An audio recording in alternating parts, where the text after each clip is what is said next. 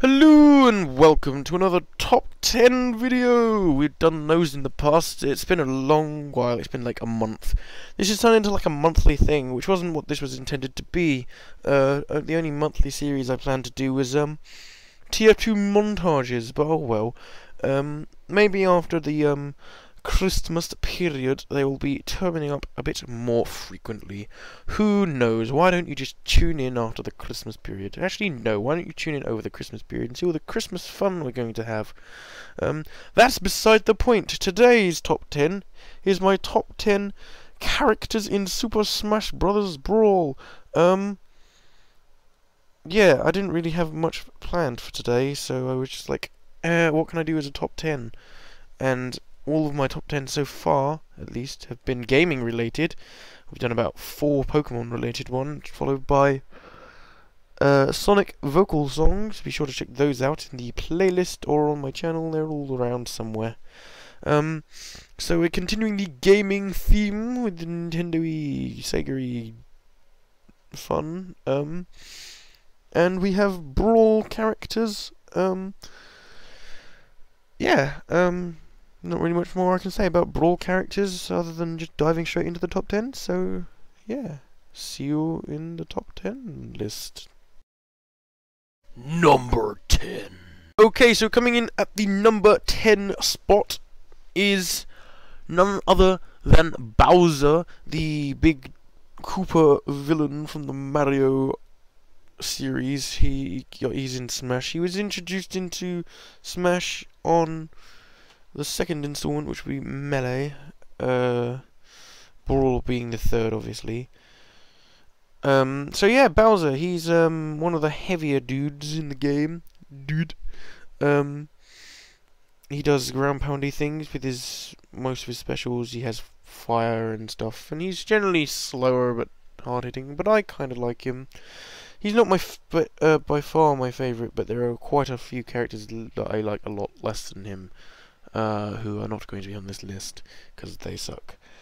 Uh, but you know, so um, Bowser, uh, his final smash is also not that bad. I mean, he has the big Giga Bowser, as they say, um, as it's well as it's known.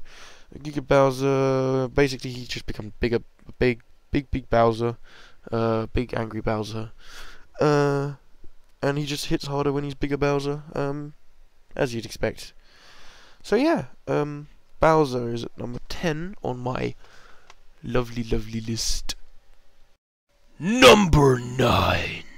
Coming in at number 9, we have the replacement for my favourite melee character. Uh, spoilers if I ever do a melee list, which I'm probably not going to. We have Lucario. Lucario was put in Brawl because they decided that Mewtwo, who they have now brought back in the new version in the new Smash Bros. game, uh, Smash Bros. for the 3DS and Wii U, um, was too overpowered because he was a legendary. Um, this was clearly wrong because they could have just balanced him however they wanted, but you know, and it kind of annoyed me at first, to be fair, because Lucario is clearly um, inferior to Mewtwo in every single way, but um, at the same time, he's not a bad character to play as. He has his general aura sphere thing, uh, which is blue. Um, I don't remember it being blue in the games. It might have been blue. It doesn't really make sense though. I mean, it's a fighting type movie. You'd expect it to be like brown or something, red kind of color. Um, but he has that. Um, can't remember the name of his final smash now, off the top of my head. It's some kind of like aura blast or something. Basically, he flies up in the air and shoots a huge laser, which you can move around for like a short period of time. Uh, it's pretty easy to dodge, though, if you're not a complete noob. So, um, yeah, but he's still good. He has a variety of stuff. He's quite floaty, so they kind of took that from Mewtwo. He's not as bad as Mewtwo was with the floatiness, but um, he is still quite floaty. Uh, he doesn't literally float though, so that's something. But you know, yeah, so Lucario is our number 9 pick. Or my number 9 pick. I don't know. There's no one else here with me. I'm all alone. Lucario. Number 8. Okay, so we have for the number eight pick, we have the hero of Hyrule, um, the green ferryman himself. We have Link. If that wasn't clear by my description, then you are clearly not Nintendo fans, and well, whatever. Not the point. Not the point. Um, Link has had like two clone characters in over the course of the last two games. Um, and the reason that Toon Link, being his clone character from Brawl, did not make the cut is because he's stupid and not a real character. Um, sorry for all you Toon Link fans out there, but Toon Link is just Link. They just created a completely new character based off of Link uh, and how his graphic style was in Wind Waker. But that was the same character, so it's stupid. Stupid, very stupid. Stupid, stupid, stupid. So we have the proper Link on here, who is basically exactly the same, just better and with better graphic animations and stuff. So he has his sword and he does his sword attacks and he can throw bombs and shoot arrows and throw hurricane boomerangs and stuff, which is all very well and good. His final smash is, I think it's called Triforce Smash. Oh my, I'm sounding really nasally. Um, yeah, Triforce Smash. You basically just shoot along the stage until you find a dude, and then you wreck him with your Triforce slashy powers. Uh, one of the not. It's an alright Final Smash. It's not one of my favourites, but it's it's not anything bad. I mean, you do a decent chunk. You're not guaranteed to wreck anyone with it though, which is a pain in the bum. Because you could like Triforce Smash them, and then it's like, oh no, I'm still alive, and then they kill you, and it's like, oh boohoo. But yeah, so we have Link at our number 8 spot today. Number 7. For the number 7 spot on this list, we decided to revisit the Kingdom of Hyrule. But this time, we are on the other side. We are evil. We are Ganondorf. That is our pick for number 7. Ganondorf, um, for want of a better description, is basically just like Captain Falcon, just slower. Um, he moves incredibly slowly, like uh, Bowser does. Um, most of his attacks revolve around punching things with his weird purple aura he has. Um, I think his special move is called Warlock Punch, I believe. Um, it's basically just a rip off of Captain Falcon's Falcon Punch, but it's cool, it's purple, and it really does do a lot of damage if you can land it, and it's very cool. And he does a lot of slidey things if you use his down and his aerials. I'm not sure what his side one is. I believe that's not his dash, because that's what his down one is. But yeah, his final smash is like Beast Ganondorf, I believe it's called, or something. Um, he basically turns into a, the big pig version of big Minotaur thing from like the original Ganon art, and he just like does a massive rush off the stage and wrecks everyone in his path. Um, so that's pretty cool. Um, yeah, there's not really much else I can say about Ganondorf. Um, he plays a pretty big role in the um, subspace emissary story thing, or misery rather, not emissary. I always get those the words confused. Um,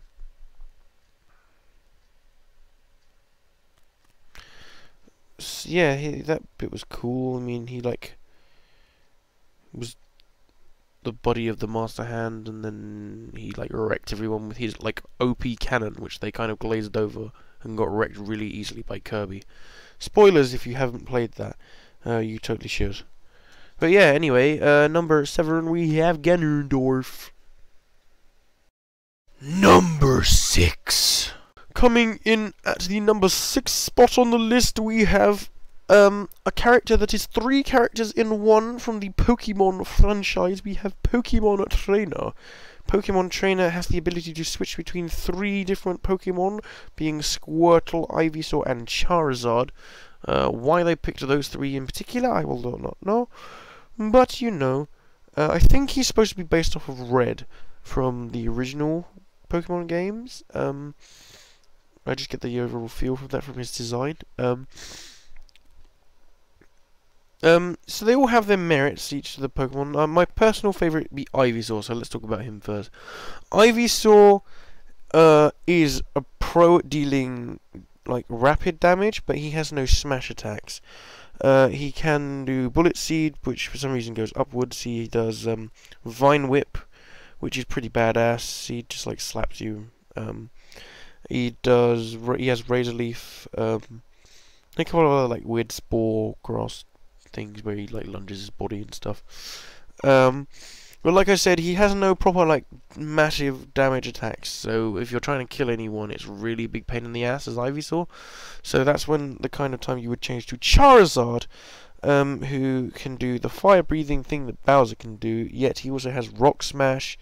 Uh, and his up aerial is similar to Fox's up aerial, where he like shoots upwards in a burst of flames and stuff. And then he has various amounts of like tail swaps and swaps is now a word. He swaps you with his tail, uh, as just like other boring attacks. Um, occasional like headbutt and stuff. And then Squirtle, he can do like shoot water at you, and I think his up special is water fall, and which apparently makes you go up. Uh, last time I checked, waterfalls go down. That probably should be his down thing, but oh well. Uh, and he does the thing where he's like in his little shell and he spins around and shoots water everywhere. It's kind of like in the anime where he uses hydro pump and goes inside his shell. Never understood that, but you know, I'm not going to complain. Um, and then their final smash is a combined final smash, which is triple finish, in which they all team up to do a big attack, which clearly Ivysaur's is like the best out of the three, because uh, they all at the same time do, I think it's hydro cannon for Squirtle or Hydro Pump, some kind of water move that's really lame and like flies everywhere. Uh, Flamethrower for Charizard and Solar Beam for Ivysaur. Solar Beam clearly being the best because it just like cuts straight through the stage, while the other two just kind of like flail around the sides of the Solar Beam, not being as badass. But it's still pretty cool to see all three of them like ripping through the stage at the same time. It's pretty easy to dodge because it happens where you stand, so you can just jump over them and then not get wrecked. But yeah, Pokemon Trainer is my number six pick. Um, yeah. Number five. Coming in for number five, we have Ike, the dude, the dude with the blue hair from Fire Emblem with the red cape and the gold sword, the cool one, unlike Marth, who's not going to be appearing on this list. Or Roy, who's not in Brawl and can't be appearing on this list. Uh, yeah, so we have Ike here. He's not really that great. Um, actually, he is. That's why he's number five on my list. Um, he's a pain in the butt to fight against because of all his attacks. He does like he's very fast and very hard hitting, which is a very good combination in Smash Bros. because that's kind of all the two things you need. You need to hit hard and you need to do it fast before you're opponent does it to you and completely wrecks your ass. Um, his up aerial is a bit of a pain. You can die from it, but otherwise it's pretty good. His final smash is basically a guaranteed kill unless you're hitting them from 0%.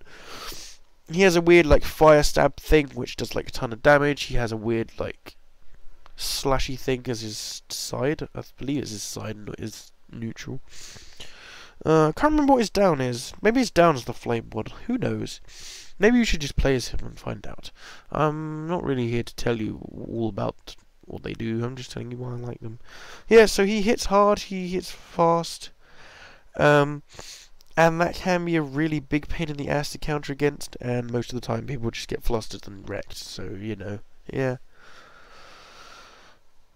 You can also juggle with him, which is the biggest pain in the ass, uh, where in which you just hit your enemies into the air over and over, uh, which also for some reason they decided was a brilliant idea to give him stun on, so that you can just knock them into the air into a position where they can't retaliate against you, um, and then before they land you can hit them back and juggle them until they have enough damage where the next hit will just send them flying, and then you do that and then they die and they don't even hit you and it's really stupid. Um, obviously that only works on certain stages because obviously if the stage has a roof then you're just like well no that doesn't work. Um, but it is a big pain in the butt um, if you're playing against it. So yeah. Like Number four. Okay, so for the number four pick, um, we mentioned him earlier when talking about Ganondorf. We have the main and only character from F Zero. We have Captain Falcon. Captain Falcon being the the blue dude with the the red helmet. Um, with the Falcon Punch, he does all the flame attacks. That's like really cool. Uh, um, he's basically just a faster Ganondorf. Um, he still takes a while with like his Falcon Punch and his kicks and stuff, but they are just as devastating.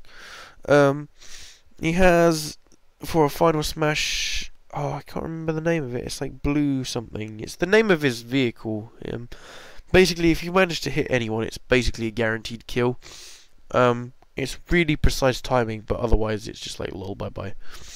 Um, it hits them onto a racetrack where you then run into, like, drive into them and wreck them completely, and then they fly off the stage. It's pretty badass, so no complaints from me. Um, so yeah, Captain Falcon, number four, not really much else I can say.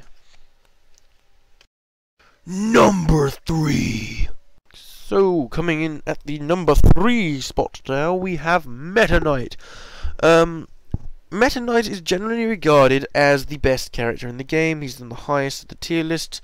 Um, however, he isn't mine. He, I, as much as I see his potential, I don't think he's as broken as everyone claims he is. Um, so you know, but um, Meta Knight. What can I say about him? He most of his attacks aren't that hard hitting, which is his main problem. Uh, fast, he is like insanely fast. He can hit people in massive rapid succession. Uh, all of his attacks are like fast hitting, low damage ones. Uh, he has many rapid attacks. He has the, mm, I think it's called the Mach Tornado or something like that. Uh, basically, he spins around and orange lines come out of him. Uh, he has like a lot of recovery moves, which is one of his main strong points. Um, and his neutral attack, not special attack, just neutral attack, um, is just like a ton of swords everywhere, and yeah, that's pretty good attack to be fair. So I like that. Um, so yeah, not really much else I can say. His final smash is a bit booty, to be fair. You have to be very precise with your timing. You have to like hook an enemy in your cape thing, and then it like slashes them. But if you do, then it slashes everyone on the stage, which doesn't really make any sense of how that works. So yeah, it's best not to question it. I think. Um, so yeah, coming in for number three, be Meta Knight. Number two, coming in at number two, we have Falco. Falco being the the blue Falcon Man thing from Star Fox. Uh, out of the Star Fox characters that you have available to you in the game, he is by far my favourite. Um, Fox is um, clearly a second uh, out of the three. Uh, Wolf is a bit um, crap to be completely fair. Uh, most of the attack, they're all basically the same, but most of Wolf's versions of the attacks are weaker and misdirected and crap. Um, then Fox, Fox is pretty good actually. Um, he's basically the same as Falco, just Falco is faster, which makes Falco better. Um, also, Falco shoots blue bullets, which is also better uh, because reasons. Um, so yeah, Falco, he has his gun, he has his tornado thing instead of Falco uh, Fox having his kicks. Uh, the tornado thing is quite useful. It's quite good. Uh, he has his like blink dash thing, which like stuns dudes and does damage, which is a brutal big pain in the ass on a small stage because you just fly off the edge. Um, he has his reflector, which is like really powerful if you know how to use it right. Um, blocks projectiles, and then you can kick it at them, and then it wrecks them. Um, he has also got the flame thing that um, Fox does as his aerial, where he shoots up and does flames, which is pretty cool. Um, and last but not least, he has um, Landmass as his final smash. Um, he of uh, they all have landmaster. If you know how to use landmaster, it turns out that the bullets are not the most effective way of killing people with the landmaster. It's to get people to stand on the top and then fly off the top of the screen and watch them fall off as you just like fly back down, going lol lol lol lol, as you have claimed an easy kill. Um, so yeah, Falco Lombardi is my number two pick. Number one. Okay, so for the number one pick of this list, we have the, clearly the most superior character since Melee when they were first introduced. Um, we have the classic duo, um, who were removed from the new game, which I'm still very salty about. Um, because Duck Hunt is clearly not a better duo character compared to Ice Climbers. Um, so yeah, Ice Climbers is my number one pick. They got second on the tier ranking, getting a ranking of their own like Meta Knight did, which I believe is the S tier. Meta Knight being in the SS tier, which is like better than S. He's better than S. But I do not agree with this. I believe that Ice Climbers are superior. Um, yeah, so Ice Climbers, what can I say about them? They have a massive variety of ice attacks. Um, they can shoot ice projectiles that slide along the stage. They can shoot ice freezy things that if you get too close you take damage and you get frozen. They have hammers and they can do like a spin attack. They um, have their yo-yo thing, which means they can jump like extra high, which works not very well when Nana is dead.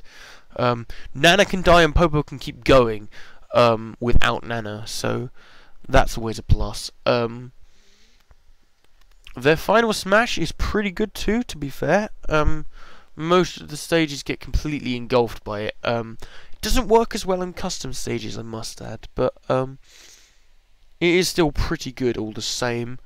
Um,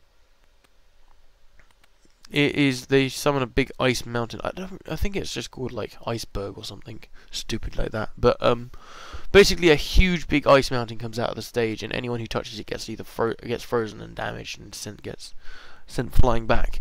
Um, it doesn't really work on the big custom stages or um, the big New Pork City, which is like the worst stage in the world. Um, but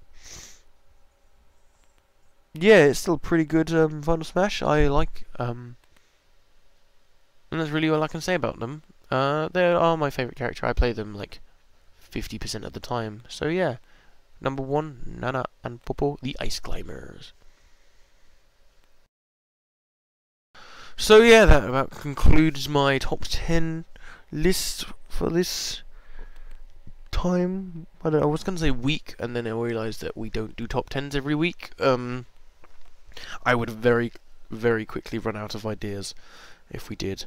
Um, but yeah, so thank you for watching. I hope you enjoyed. Be sure to leave comments telling me if you agree with any of the placements on my list, what you would put at number one on your list if you made this list yourself. Um, and yeah, um, yeah, like, comment, subscribe. Um, be sure to check out the previous top tens, and be sure to check out my other videos. We've reached 26 episodes of Pokemon Blue, uh, 50 TCG battles. We're making good headway into Sonic Adventure 2, as big of a pain in the ass as it's being. Um, and yeah, we, we generally have quite a bit of fun on my channel. We did some Pokemon TCG booster pack openings last week. Be sure to check that out. Um, if that's your cup of tea, as they say. Um, yeah, I'm going to be heading off now, so have a nice day. Good, good show, jolly good, haha, all this, all that jazz. Um, and I'll see you in another video. Bye!